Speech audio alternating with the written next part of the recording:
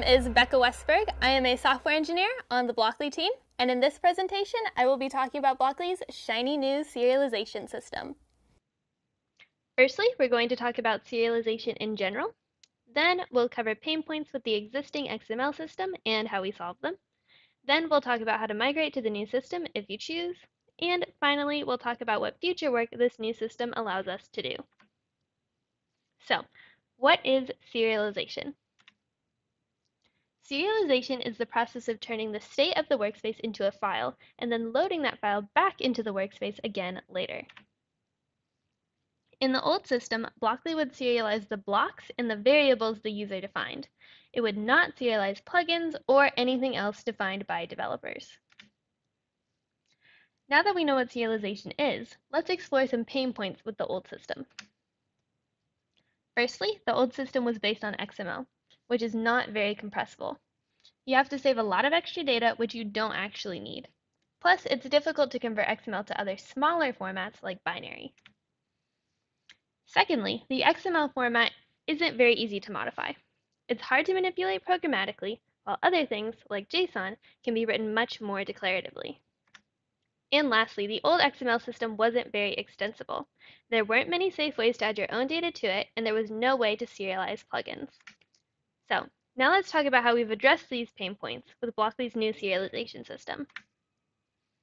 The new serialization system converts the workspace to JSON rather than XML, which addresses all of the pain points outlined above. Firstly, JSON is more compressible. It doesn't include as many extraneous characters, and it is easy to convert to binary formats like CBOR and protobuf. Depending on the contents of the workspace state, converting to binary can give you great reductions in save file sizes, especially as compared to XML. Secondly, JSON is modifiable. It is easy to read manually and to write programmatically. And lastly, JSON is extensible. The new format has been structured so that developers can add their own serialized state, such as the state of their plugins. Now, let's look at what the API for this new system looks like. Saving and loading workspaces works very similarly to how it did before. You use serialization.workspaces.save to save the workspace and serialization.workspaces.load to load it. However, there's one key difference. When you call load, the state of the workspace, including plugins, is first cleared before a new state is loaded. This ensures that plugins don't accidentally get into bad states. Loading individual blocks is again very similar to how it worked before. You call serialization.blocks.save to save them, and serialization.blocks.append to append them. Note that when you append an individual block, the state of the workspace is not cleared. The block is just added to it. Because the save format has changed, hooks for saving extra state have had to change as well. For blocks, the old hooks were mutation to DOM and DOM to mutation, and the new hooks are save extra state and load extra state, respectively. Similarly, the old hooks for fields were to XML and from XML, and the new hooks are save state and load state. Unlike the old XML system, the JSON system provides an additional way for you to save state. You can register a serializer which takes in the workspace and returns some JSON representing extra state. This is how the new system allows you to serialize plugins. So, say you're interested in solving these pain points and getting these new features. How do you access this new system? So, the new JSON system was released in the December 2021 version of Blockly. This means that if you are a new user of Blockly, you can just use the JSON system. Additionally, at the same time, the old XML system was iceboxed. This means that the XML system will continue to exist, and the old users of Blockly can still use it, but it will not get new features or bug fixes. So, if you are someone who was previously using the XML system and wants to use the new JSON system, there are a few changes you're going to have to make. There are more details in the migration guide, which you can find linked in the slides, but I'll go over the basic steps. So, after updating to the December 2021 version of Blockly, the first thing you want to do is upgrade your block and field definitions. This involves adding the new API hooks that we discussed before.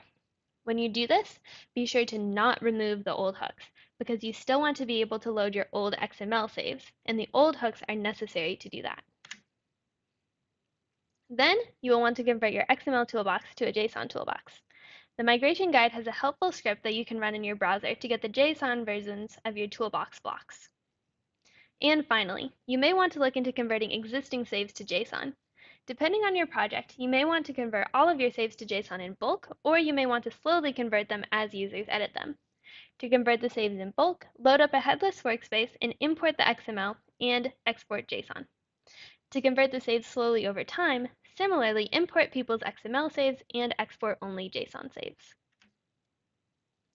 Now to conclude this talk, I would like to briefly share with you some of the exciting future work that the new JSON serializer opens the door to. None of these is on our short-term roadmap, but I am personally excited for the possibility of adding them in the future.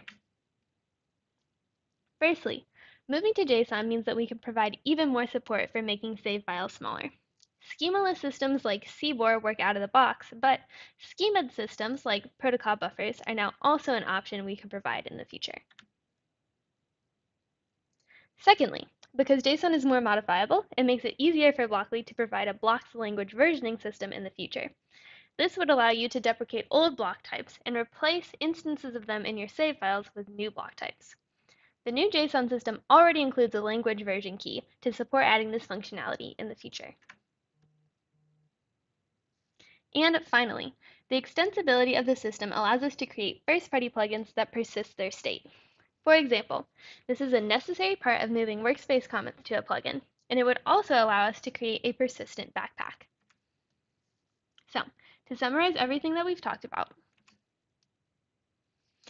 Blockly now has a JSON-based serialization system. It is compressible, modifiable, and extensible, and it opens up the door to a lot of exciting future work. Thanks for watching this talk, and I hope to see you all at our upcoming Developer Summit. If you have questions, you can post them in our Q&A or bring them to Q&A sessions at the summit.